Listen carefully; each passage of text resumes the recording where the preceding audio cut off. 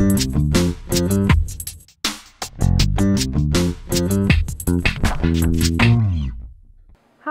I'm Stephanie Jaworski of joyofbaking.com. Today we're going to make a banana bread. First, just preheat your oven to 350 degrees Fahrenheit, that's 180 degrees Celsius. And then we need to butter and flour a 9 inch, 23 centimeter loaf pan. Now, a banana bread is really easy to make. We just need two bowls. You don't need an electric mixer for this at all. So in one bowl, we're going to mix all the dry ingredients together, and in the other bowl, all the wet ingredients. We'll start with the dry ingredients. We need um, one and three quarter cups, which is about 230 grams of white all-purpose flour, and uh, three quarters of a cup, that's 150 grams of granulated white sugar. And then here I have one teaspoon of baking powder, a quarter of a teaspoon of baking soda, a teaspoon of ground cinnamon, and a quarter of a teaspoon of salt. We're just going to empty that all in.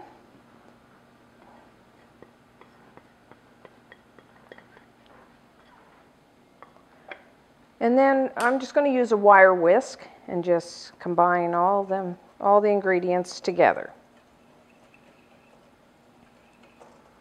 Make sure that cinnamon is all mixed in. And that's it for the uh, dry ingredients. Now in the second bowl, we have two large eggs.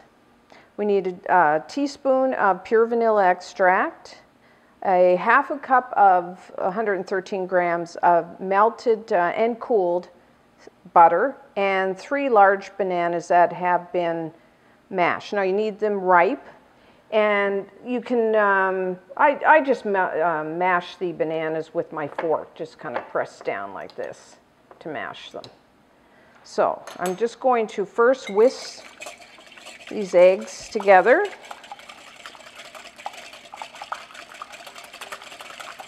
Just that. And then add the vanilla, the, all the banana.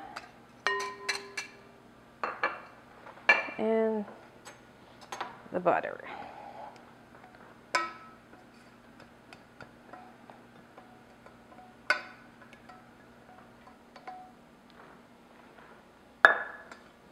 And just going to whisk all that together.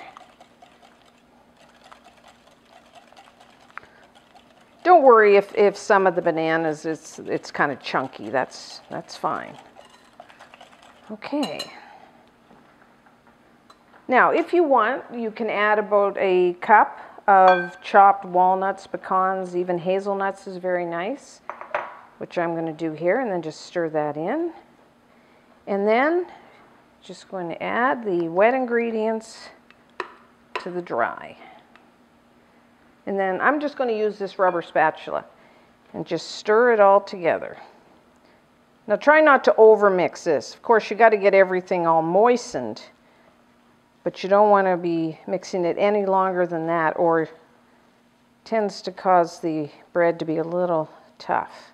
So just enough to get all that flour incorporated. Now there's all kinds of, uh, I have a few other um, banana bread recipes on the site if you like. There's a chocolate banana bread or one with a streusel topping. And there's also a low fat, if you want to try that. Okay, so that's done. Now I'm just going to pour best as I can to our pan.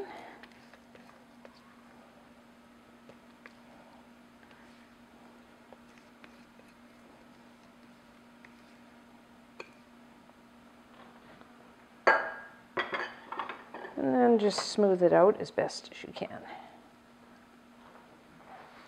Now this we're going to bake in the oven until golden brown and when you uh, put a toothpick in the center it'll come out clean and that'll take uh, somewhere around an hour.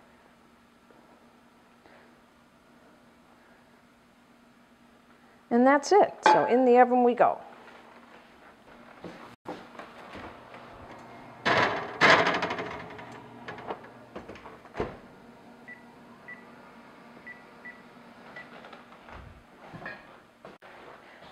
Our banana bread is now done.